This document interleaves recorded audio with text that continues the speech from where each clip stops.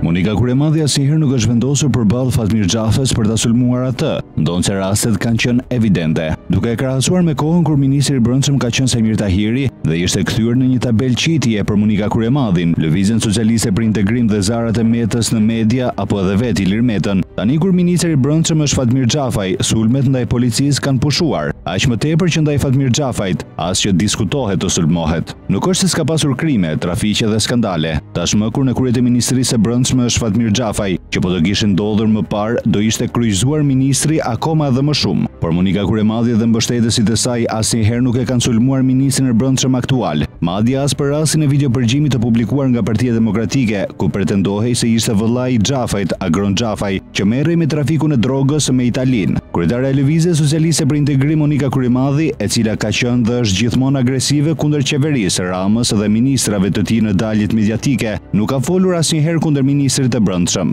Madje Lëvizja Socialiste për Integrim përmes nënkryetarit të saj, ia faturoi Partisë Demokratike këtë aksion politik, duke u distancuar nga akuzat, dhe sulmet ndaj vëllait të Fatmir Xhafajt dhe akuzave për trafik droge. Për më tepër, që kryetarja e Lëvizjes Socialiste për Integrim Monika Kryemadhi tentoi të bënte diversion duke marrë në mbrojtje Fatmir Xhafajn dhe duke thënë se kjo ishte një thikë pas shpine e Edi Ramës ndaj ministrit të Brendshëm për ta mbajtur atë nën kontroll. Monika teksa tha se ministri Xhafaj nuk mban përgjegjësi për veprimet e vëllait të tij trafikant, deklaroi se sulmet e Ballës ndaj Xhafajt, bëheshin për t'i zënë vendin si ministër i Brendshëm. Madje ia preu shkurt Ballës, teksa i tha se nuk i ikën Xhafaj nga ai post duke deklaruar para mediave, Taulant, s'jam marrë as me motrën tënde as me gruan tënde, në rregull, rri urtë, nuk të shpëton Edi Rama dhe nuk bëhesh dot ministër i Brendshëm t'i zësh vendin Fatmir Xhafajt, deklaroi Monika Kryemadhi. Pra, kryetarja e Lëvizjes Socialiste për Integrim, jo vetëm nuk ka pasur asnjëherë deklaratë kundër ministrit të Brendshëm Fatmir Xhafaj, por edhe e ka marrë atë në mbrojtje herë pas here. ndërkohë që paraardhësin e tij e kishte bërë copë.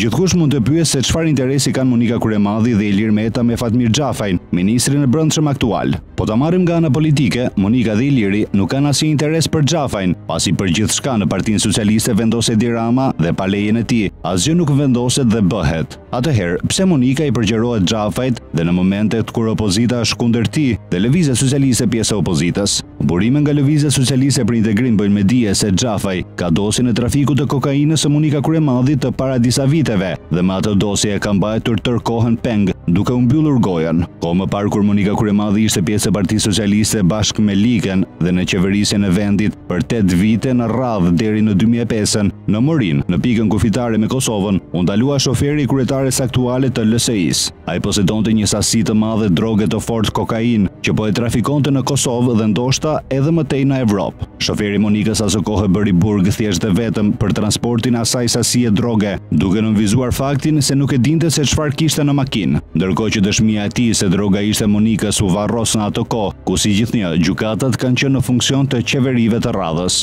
Ministër i Drejtësisë në atë kohë ka qenë Fatmir Xhafaj, ndërkohë që zëvendësministër, një socialist tashmë avokat i njohur, që ushtron aktivitetin ditët e sotme. Sipas burimeve nga Lëvizja Socialiste për Integrim, kjo dosje gjendet në dorën e Xhafajt, ndaj Monika nuk guxon të përplaset me të, pasi një akuzë e ministrit të Brendshëm ndaj kryetares së Lëvizjes Socialiste për Integrim dhe një hetim i kësaj dosje të mbyllur, do të hidhte në erë tërë karrierën e saj dhe të Metës. por dhe do t'i çonte në burg, pasi është dënuar shoferi i Monikës për këtë qëllim, i cili ka qenë dhe shoferi i vëllait të saj, Drini Kryemadhi, kur ishte në krye të Drejtorisë së Përgjithshme të Rrugëve. Gjërat janë të lidhura. Politika hesht dhe bashkëpunon për të mbrojtur veten, ndaj peshqit e mëdhenj vijojnë të qëndrojnë jashtë qelive të burgut.